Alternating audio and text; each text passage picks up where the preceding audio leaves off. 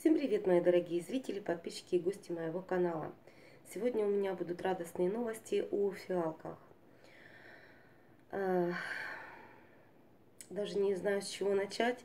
Э, действительно, настолько радостные новости, что на днях я э, ВКонтакте, в цветочной барахолке, все прекрасно знают, вывесила пост о том, что я ищу фиалки Фишерс Леон пасынки или детки, или уже стартеры, неважно. То есть даже взрослые кусты я готова была уже приобрести. Это фиалки Fisher's Leon. Все прекрасно знают, что у меня листики все-таки не прижились. Как бы я ни старалась, не получилось.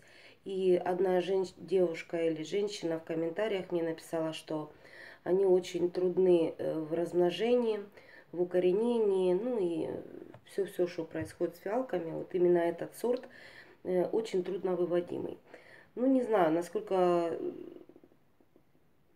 по моим наблюдениям, конечно, да.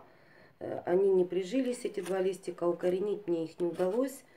Э, вот. Но это, скорее всего, просто по моей неопытности. У того, у кого опыт есть, уже наверняка бы получилось. Вот. Но поскольку я только учусь и развиваюсь в, этих, в этой сфере, то не все еще сорта понимаю, э, какие лучше, какие хуже. То есть есть и с кружавчиками, и галактические, там, и химеры. То есть у каждого своя есть особенность. Вот. Ну, вот что касается с Fisher's Leon, именно в листиках я с ними как-то, ну вот не подружилась, не получилось у меня. Хотя в то же время, в тот же день я садила совместно попутно фуксиевое кружево, вот два листика и один и второй замечательно прижились и дали деточек. Вот это видно замечательно. Фуксиевое кружево, если видно. Девочки, извините за качество, по-другому не, по, не получится. Вот. Это я так отвлеклась от темы. И второй листик также у меня там две или три детки дал. Но сегодня не об этом. У меня радостная новость. Я нашла два шикарных кустика вот, один из них подросший пасынок, другая уже готовая к цветению, уже выдала цветонос.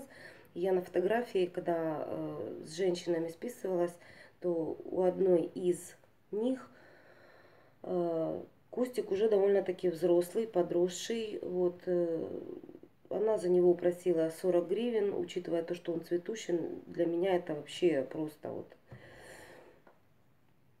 дикая радость, скажем так, и новость. Э, что я еще хочу сказать? Э, для меня немножечко так, э, не знаю, как выразиться, ну, наверное, выражусь уже как есть.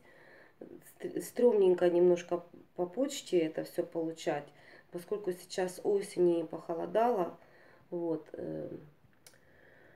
ну как похолодало, в последние полторы недели обещают немножко потепление, вот, и ночью не будет опускаться там минус 8, минус 10 градусов. То есть немножечко циклон поменялся, э, вот, и может быть это даже на, на руку мне, поскольку я заказала два кустика. Это, скорее всего, уже от жадности. Вот, э, поскольку две женщины откликнулись, когда я репост, э, точнее пост, когда выставила по поводу того, что я ищу эти два кустика. У одной из женщин это уже было как остатки пасынков она распродавала, и вот один меня, видно, дождался. И второй э, куст, который собирается цвести, вот, э, не знаю, еще не помню, не разобралась, почему она продает этот э, куст э, цветущий, точнее не помню, мы с ней переписывались, э, и та, это, и, и ту, и ту женщину Светланой зовут, вот, ну, я как-то не запомнила почему, ну, в общем, неважно это все, будет уже потом в следующем видео говориться, я буду об этом говорить, вот, естественно, я буду выражать благодарность по видео, и там уже точно скажу, в связи с чем эти были проданы фиалочки. Но для меня это действительно огромная радость, но, скорее всего, это уже жадность, потому что я оба решила приобрести. Вот. И попутно еще у одной женщины решила вместе с Фишерс Леон купить э, фиалку изюм. Очень интересный такой сорт.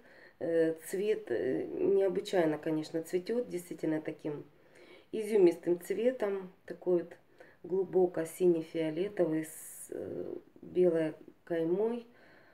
В общем, не буду рассказывать, это на, словами не передать, это надо смотреть. Я обязательно поставлю на заставочку э, три вот этих сорта, которых я взяла. И третий из них это мачо.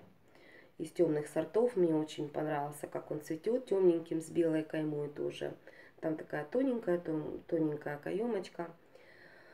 Вот.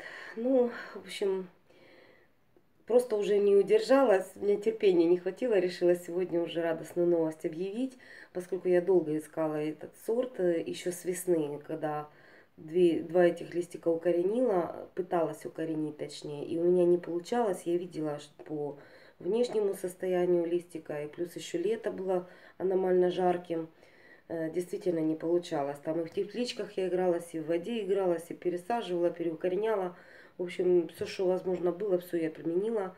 Ну, в общем, что-то не, не в руку пошло. В общем, не получилось. Ну, тем не менее, на сменку пришли эти два кустика замечательных. Один из них я оставлю у себя, естественно. Другой поедет у меня в гости к маме. Просто хочу порадовать, пока он собрался цвести. Вот, процветет у мамы. Я покажу ей просто сорт, как он цветет. Если понравится, я у нее оставлю. Нет, ну, значит, от жадности у меня будут два стоять, как тот дракончик из мультика. Мне, мне, мне, мое, мое, мое. Вот.